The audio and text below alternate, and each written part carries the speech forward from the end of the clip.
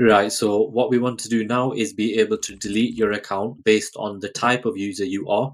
So if we click this button, a modal will pop up and it will render the relevant information based on what type of user you are. So because I'm first and foremost a Google user in this case, I should see a button saying confirm delete, which would then make me re-authenticate myself as a Google user and then delete myself as well. So this will remove me here from this Firebase authentication users list.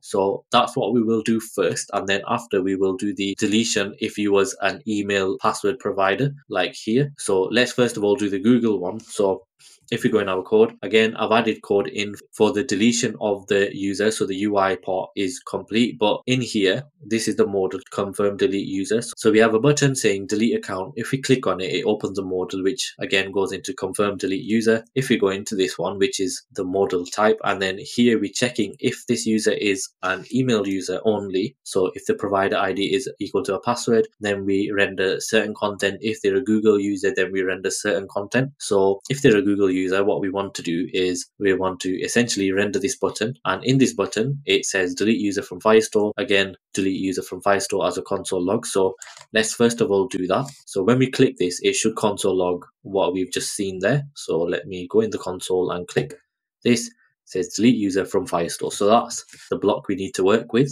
So if Google user and if it is an email user, what we need to do here is we need to put in the user's password to re-authenticate and say that this is what we want to do and then we need to delete. So this delete user from Firestore function is going to handle quite a lot of functionality in here. So let's again comment this out and let me just save this all.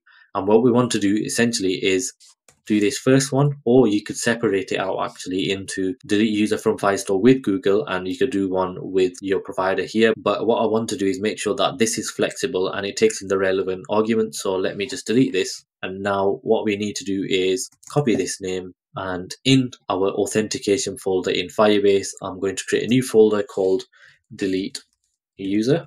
So this is going to be the logic to delete a user and in here I'm going to do index.ts and this function is going to be called export const of essentially delete user from Firestore, which again is an async function and takes in arguments. And this will be an arrow function as well. So let's just do the arrow function in here. And then what we want to do, the first thing we want to do in the arrow function is it receives certain arguments. So let me bring them in.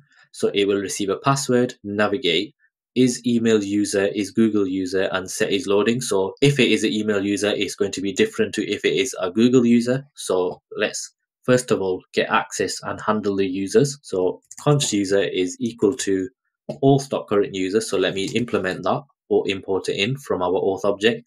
And now what we want to do is a try catch in here. And the catch is essentially going to generate our Firebase error message which we have, and we also need to import Firebase error, which handles all of that. And what I'm going to do actually is remove all of this and have a finally block. So the finally block will essentially handle our set is loading to false. So now in here, we need to set is loading to true first of all. So let's go ahead and do that. So now we have our try catch and finally we need to work on the try block itself. So now what we want to do is handle the Google user first. So if handle Google user. So essentially it will be if is Google user is true like that, then we want to have this in a block. And in here, we need to get access to the Google provider. So let me just bring this in, which is essentially the new Google provider, which comes from Firebase Auth. And then what we need to do is we need to re-authenticate the user. So await re-authenticate with credential, which is coming from Firebase Auth. And then we pass in the user itself, as you can see there, and then the credential which is this Google provider. And actually, this will be because it's Google, it's going to be re authenticate with pop up, but we will need the credential if it is an email user. So let me just quickly import this one in. And now that is all handled correctly. What I want to do is once that is re authenticated, then what we want to do is delete the user. So again, await, and then the function comes from Firebase auth again. So delete the user comes from Firebase Auth and we pass in the user. So that is pretty much the step. And then also what we want to do is if it is a Google user, then we want to navigate to the home page like this. So all we need to do is navigate and now if I save, essentially this should handle the Google user. So now what we need to do is pass in the relevant arguments in here. And what we actually want to do as well is move this password to the end argument and make it optional as well. So essentially if it is a email user here, then we need the password. If it's not, then we don't really need the password. So now we've got access to that. We need to pass it in the relevant argument. So if we go into our confirm delete user in here, and if we go into is Google user, because that's what we are handling. So now we have them side by side. This is the function we need to import in here. So let's go ahead and import that. What we want to do is pass the password in right at the end because it's optional. So the first argument that this function will receive is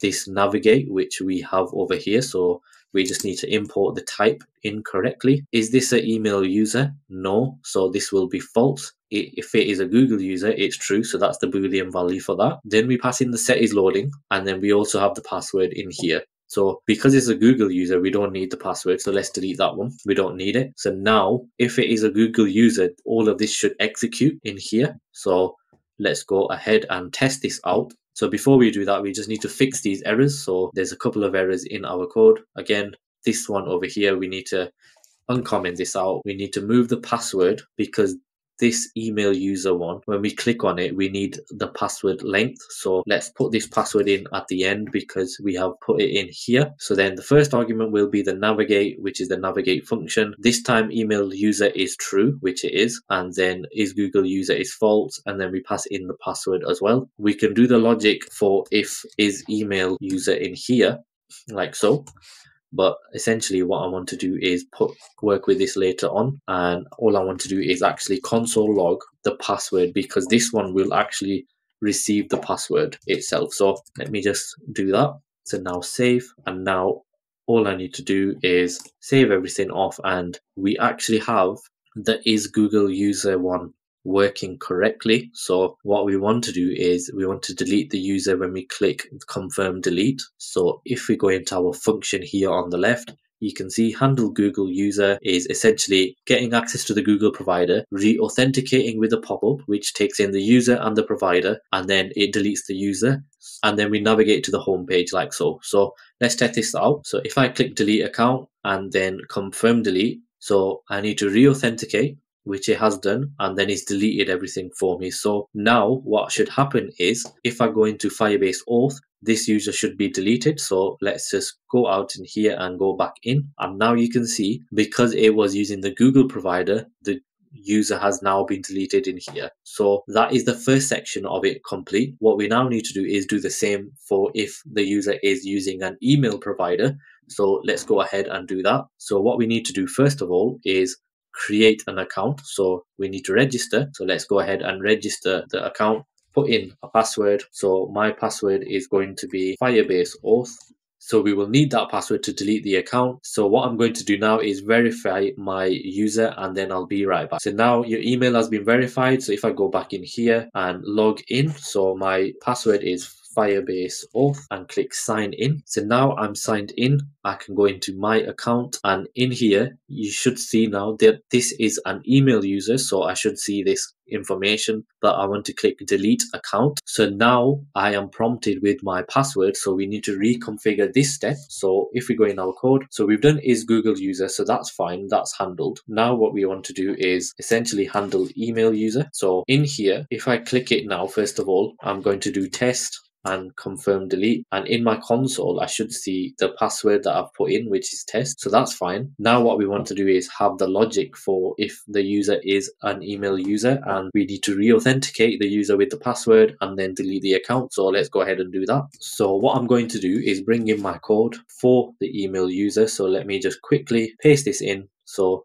again, what you can do in this bit is add some extra validation for your password. If the password is incorrect, then essentially what will happen is the user account won't be deleted.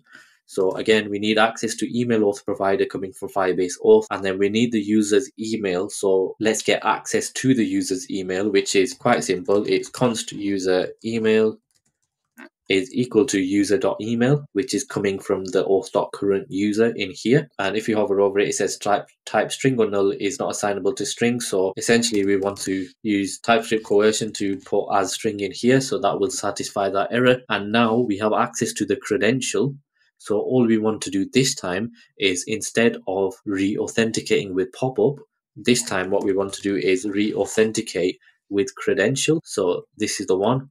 And you would pass in, if you hover over it, the user and the credential, which is essentially what we have over here. So that is pretty much it. Then the last thing we do is what we have done above, which is copy this and paste this in here. And now that should handle this section here. So let's go ahead and do the whole process. So if we go into Firebase Auth and in users, we have this user here, which is myself. Provider is an email provider. So now what we want to do is delete this from here. So let's go into delete account, put in the correct password, or actually I'll type in the wrong password and click confirm delete. It says here invalid credential. And this is coming from how we handle our errors in our catch block, which is essentially this generate Firebase auth error message. So now let's enter the correct password, which is Firebase auth.